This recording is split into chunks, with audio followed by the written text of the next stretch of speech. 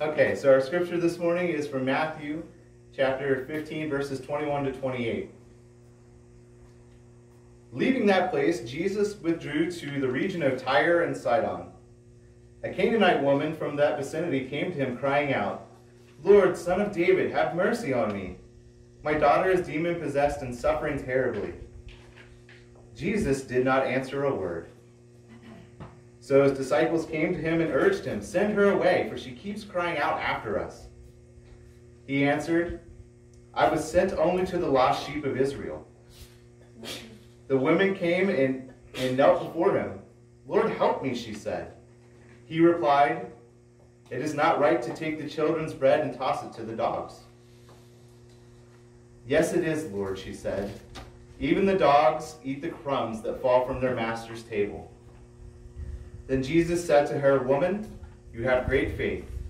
Your request is granted, and your daughter and her daughter was healed at that moment. This is the word of God for the people of God.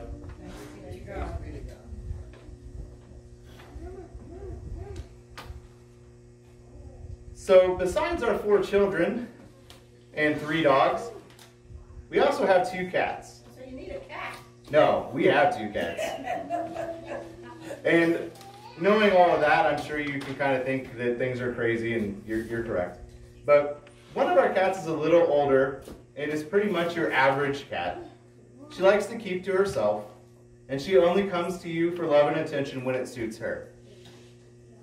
And she's very patient even when she is hungry. She simply sits beside her dish and waits for you to notice her. That is my cat, and I have to say I prefer her greatly to our other cat. And our other cat is named Pixie.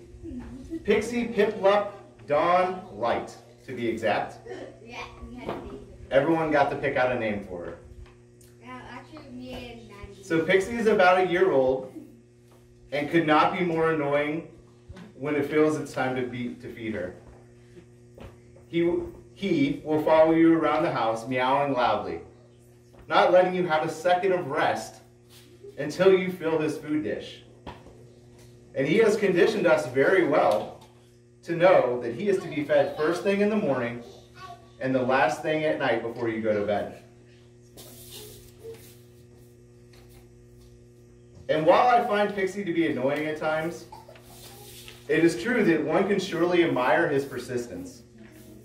You see, it doesn't matter what else is going on in your life at the time or in that household, Pixie is focused. He's going to be fed, and he's going to be fed right now. And I think we see that same level of persistence from the mother in our scripture today. And what a credit she is to all those who struggle after their goal. I think it's helpful for us to understand the context of the interaction between Jesus and the woman today. You see, she is identified as a Canaanite. She is from the tribe of people that were on the land that was inherited by Abraham's children. So now, if you think about the current situation in Israel, where the Palestinians and Israelis continue to have so much hostility towards one another, it's not unlike what you would have seen between the Jews then and the Canaanites in that area. So, generation after generation, they continue to fight over that land. So, this mother comes to Jesus, who is, after all, an Israelite, and asked him to heal her daughter. And I think a lot of us are probably unfamiliar with this passage in the Bible. And if we were to think about how Jesus would answer in most other situations, the answer would have simply been, Woman of great faith, your child is healed, go forward. But that's not what we, we get from Jesus in this situation. We get a much different response. At first, when the woman comes forward, Jesus seems to just ignore the woman. And when the apostles start to get annoyed by the woman calling after them, they ask Jesus to say, Tell that lady to go away. She's bothering us. Get out of here. Tell her to get out of here. Jesus attempts to send her away by telling her, I have only come for the lost sheep of Israel. You are not of the tribe. I am not here for you. This is akin uh, to, to him saying to the woman, I'm only here to help your enemies, not you. And it would have been really easy for her to turn away at this point. In fact, I would think that most of us, if we were rebuked in such a strong way, would have left. But she doesn't. She humbles herself even further, drops to her knees, and calling out to Jesus as Lord, Lord, help me. And again, Jesus tells her that he cannot help her, that helping her would be taking away the food from his children and feeding it to the dogs. This is a very different side of Jesus for us, for sure. But the woman continues on, saying, No, I will not give up. Even the dogs are fed by the crumbs of their master's table. Jesus then tells the woman, She is a woman of great faith, and her request is granted, and her daughter is healed. When I consider this interaction, it's really easy for us to read that simply and look at the stance of why is Jesus being so difficult to this woman? Why does he give her such a hard time? Surely he could have just healed the woman's daughter. After all, though she is a Canaanite, she's still a person. Coming, still a person, and Jesus came to save both Jews and Gentiles, right? I think that Jesus, as he often does, takes this as an opportunity to teach. He's teaching us and the apostles two very important lessons here. The first is that faith is important. The amount of faith that this woman must have had in Jesus' ability to heal, her daughter must have been tremendous. She's willing to go to her enemy, a person that has displaced her people from the land. And not only that, but a leader amongst those people and she's willing to face rejection multiple times. She humbles herself before Jesus by kneeling and calling him Lord. What a powerful testament to her faith. And the second idea that I think Jesus is trying to show us is that having the will to persist when things become difficult is absolutely key in achieving anything. It would have been so easy for the woman to give up when the apostles complained about her. It would have been easy for her to give up when Jesus rejects her. Not only rejects her, but does so in a way that's pretty unkind. But this woman was not easily deterred. She was going to do everything she could to get her daughter the healing that she knew Jesus could give her. This should cause us to evaluate both of these areas in our life. How is your faith? It is my utmost prayer that you can say that your faith is strong. But if you are struggling with your faith, I urge you to find ways to strengthen it. The most important which I feel is to begin making sure you're committing time to the Lord daily. Not just praying once a day in your memorized prayer, as we often fall into. But praying and speaking to the Lord honestly and openly. Remembering to thank God when your prayers are answered, whether it be a yes or a no. And see if after a few days or weeks of having this open dialogue with God, if your faith is strengthened.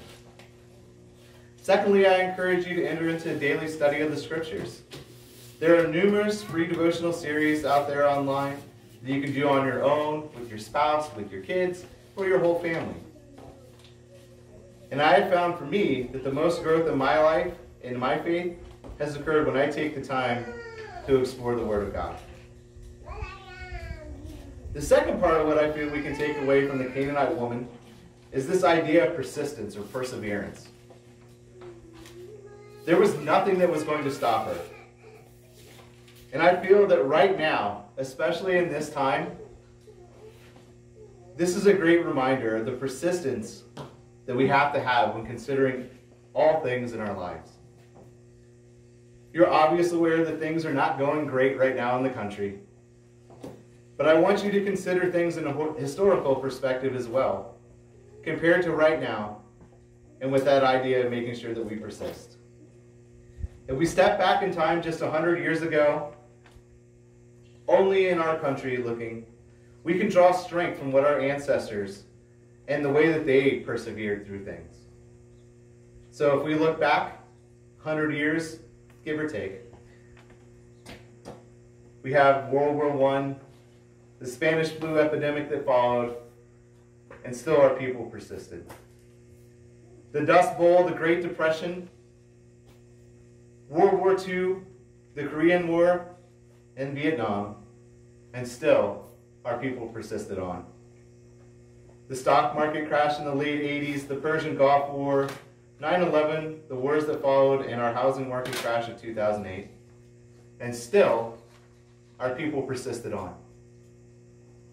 You see, our history, even in the, just the last hundred years, our people have always persevered.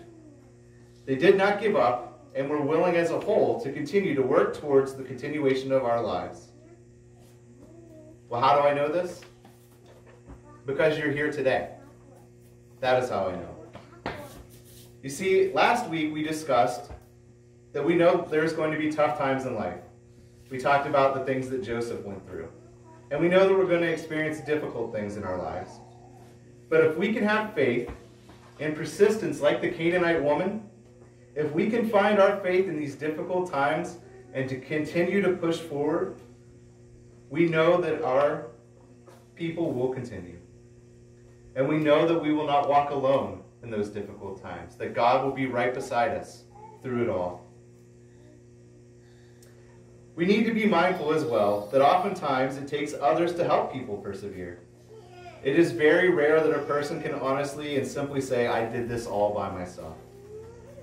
We need to be willing to be the people that God calls us to be, to continue to serve others in ways that will help them grow in their faith and help them persevere through this difficult time.